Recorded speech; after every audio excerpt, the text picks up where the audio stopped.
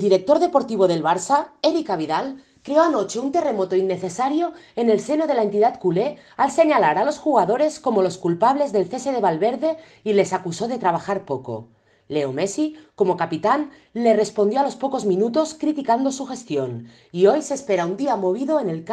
el cargo de Vidal en el aire.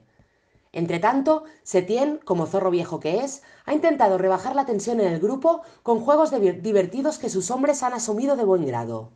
Con solo 16 miembros de la primera plantilla disponibles y Piqué entre algodones, se enfrentan mañana a la difícil misión de pasar a las semifinales de la Copa del Rey ante el Athletic de Bilbao en San Mamés. Para ello, no parece que las rotaciones entren en su orden del día, básicamente porque no puede, aunque no se descarta la aparición de Junior en el lateral izquierdo por un errático Jordi Alba, de un Titi en el eje de la defensa por un tocado Piqué o de Artur en el centro del campo para buscar control de balón y maniatar las peligrosas contras del Athletic, que ya ganó al Barça esta temporada en la primera jornada de liga con un gol de Aduriz en el tiempo de descuento. Por su parte, el Athletic, que está haciendo una buena temporada, a pesar de lo que costó eliminar a un enorme Tenerife en octavos de final y a la derrota ante el Getafe en casa en la última jornada de liga, llega al partido consciente de sus posibilidades y quiere intentar aprovechar el factor cancha a favor para plantarse en las semifinales de la que es su competición favorita.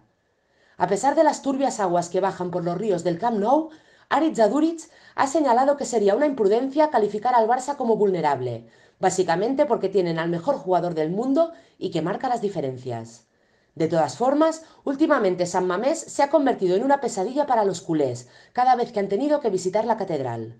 Con las dudas de Yuri y Capa para el partido de mañana, Gaizka Garitano va a sacar al mejor once posible para ser competitivos ante un Barça que, herido, puede ser aún más peligroso.